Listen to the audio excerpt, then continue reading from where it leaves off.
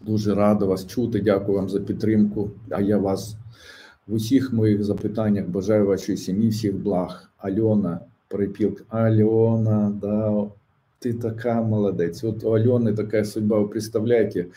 Э, вот Алена, она может сказать, Алена, тебя к тебе домой кто пришел? Украинские бойцы или российские? Напиши мне, как тебя выгнали из дома. Вот вам человек настоящий.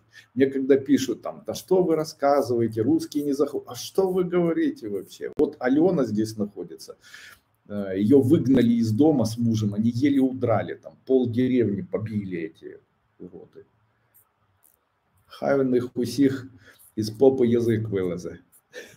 Оцих и никогда не вылечится. Я вам клянусь, у всех, кто уничтожал здесь людей, они сесть на попу никогда больше не сможет. И с потенцией у них будут большие проблемы.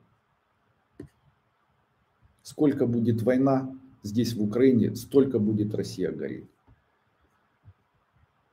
Придет ли война в Европу и в Беларуси на ближайшие 1-2 года? В Беларуси могут быть неприятные ситуации. Они будут с территории Российской Федерации. То есть это геноцид белорусов, это нападение на Беларусь России. Придет ли война в Европу? Нет, не придет. Сменится ли режим до конца года? Спасибо давно, вы даже не заметив, подсказали, предсказали это событие, началось в Беларуси.